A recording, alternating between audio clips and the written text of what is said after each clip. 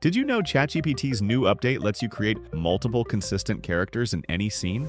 Yeah, it's pretty wild. In this video, I'll walk you through the exact steps to create your own unique characters and bring them together into a single cohesive scene. Let's dive in.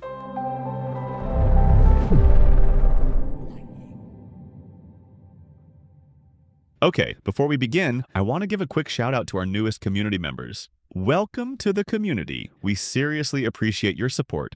All right, so let's start by creating a single character. Open ChatGPT, and in the prompt bar, I'll ask it something like, create a short kid story about a seven-year-old boy and girl and their quest. This is just an example. You can create whatever story you want. Once you've got the story, you'll see ChatGPT also gives names to your characters.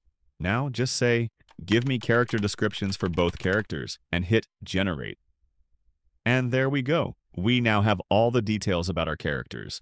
Their personality, appearance, traits, everything we need to create consistent visuals later on. Now go ahead and copy those details into a Google Doc so you can use them whenever you need. Now I'll go back to ChatGPT and ask it to save these character details in its memory. This helps keep everything consistent moving forward. Once that's done, let's ask it to create a full body image of Zara. But here's a quick tip. Always provide the appearance details again, even if you've saved them in memory. Sometimes ChatGPT misses stuff, so it's better to be safe than sorry. Now hit generate, and boom! Zara's image is ready and it matches her appearance perfectly. Now I'll do the same for Milo. And just like that, we've got both characters ready to go, so once you've got both characters ready, just go ahead and download them. Now, we'll copy the story we created earlier and ask ChatGPT to break it down into 30 visual scenes paste your full story into the prompt box, and it'll handle the rest. Once the scenes are ready, I'll simply ask ChatGPT to create detailed image prompts for all of them, and make sure to mention Pixar style in each one for that animated movie feel. Hit generate, and just like that, you'll have beautifully written prompts for every scene. But here's a quick trick to make the results even better. Ask ChatGPT to discuss the details of each scene before generating. For example, for the first scene, I'll ask, can you explain how you're going to create the first scene? It'll give you a breakdown of the scene, what's in it, how it looks, and what details matter most. Read through it carefully and make any necessary tweaks to the prompt. It really helps. Now, once you're happy with the prompt, just add the character image, and don't forget to start the prompt with Create Wide Image. Otherwise, it'll roll the dice with the format, then hit Generate, and boom! The first scene is ready. And look at that.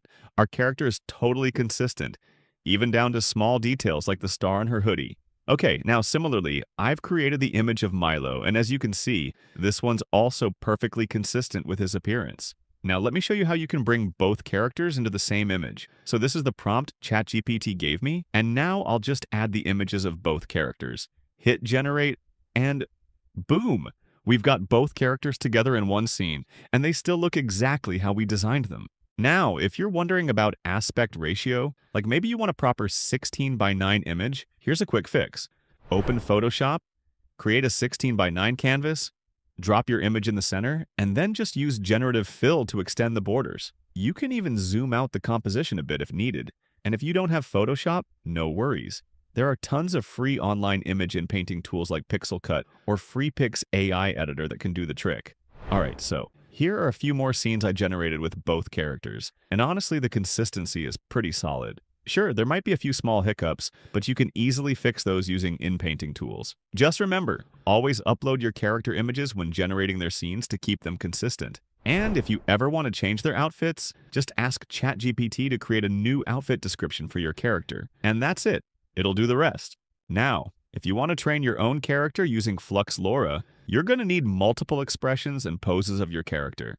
Here's what to do. Just add this to your prompt. Give me six different facial expression sheets of this character in a 3 to 2 wide image ratio. For even better results, you can specify the exact emotions. And don't forget to tag your character's image for consistency. Hit generate and boom! You've got your expression sheet. Want more exaggerated expressions? Easy. Just add that to your prompt or ask ChatGPT to come up with more intense variations. Next, create the body poses for your character.